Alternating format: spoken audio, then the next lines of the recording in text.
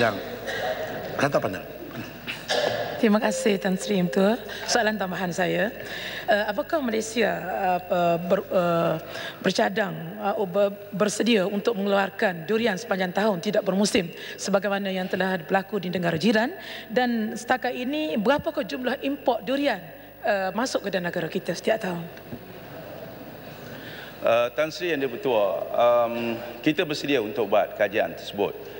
Uh, tapi sekarang ini kita sudah ada teknologi uh, untuk menyimpan durian pada waktu yang banyak dikeluarkan kalau musim. Sekarang ini musim dah mula datang balik.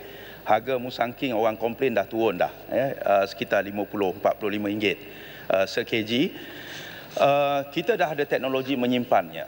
Uh, menggunakan kaedah sejuk beku Uh, menggunakan kolagen, dia boleh tahan setahun. Jadi isu buah ni sebagai buah bermusim tak timbul sangat.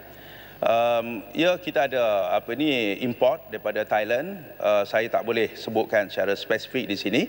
Uh, tetapi saya percaya bahawa pilihan uh, bukan saja orang Malaysia.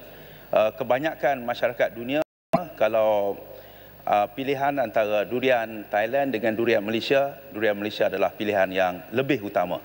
Tan Sri Andi Ketua. Terima kasih.